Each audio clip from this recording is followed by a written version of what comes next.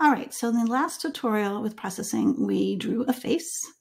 And in this tutorial, you're actually going to paint with a brush in processing. So again, let's look at the code. We've got the function set up. It's creating a canvas. We know what that does. We said it's going to set it up by 800 by 600. Um, looks like maybe this is going to have a background color. And then we have a draw function. And if the mouse is pressed, looks like maybe that background color is going to change. Then we have a stroke and a fill color.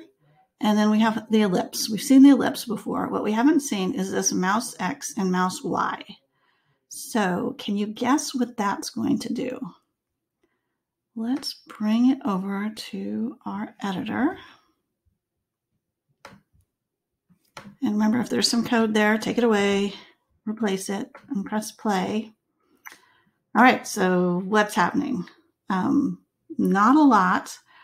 Now I'm going to go, ooh, so I'm painting now.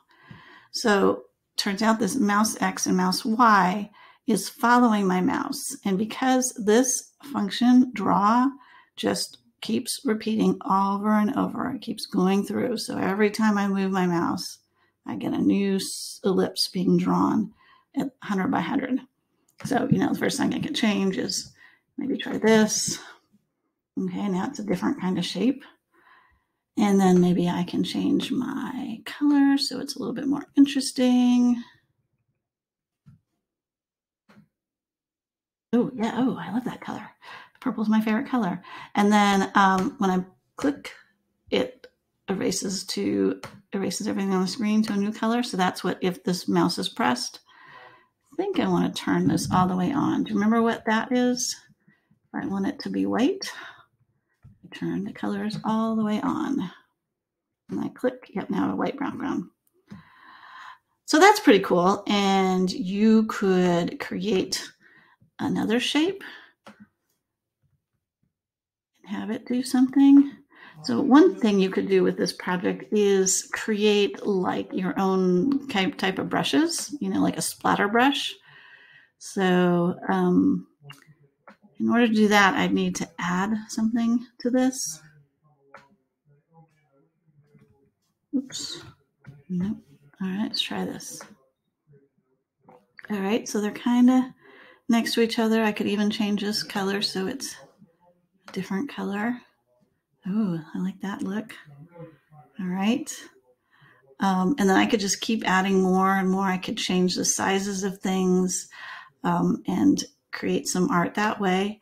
But I'm going to blow your minds. I'm going to change that to X and this to Y. So you see how these are different? Can you guess what's going to happen here?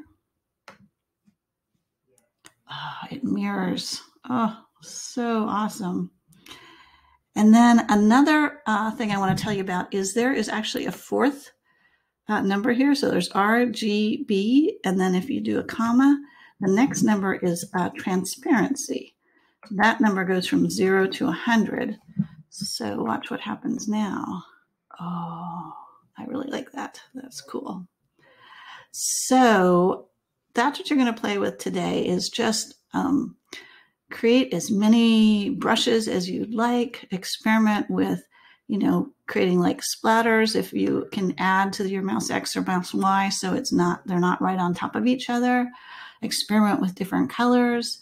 And then finally take a screenshot of your masterpiece. All right, good luck.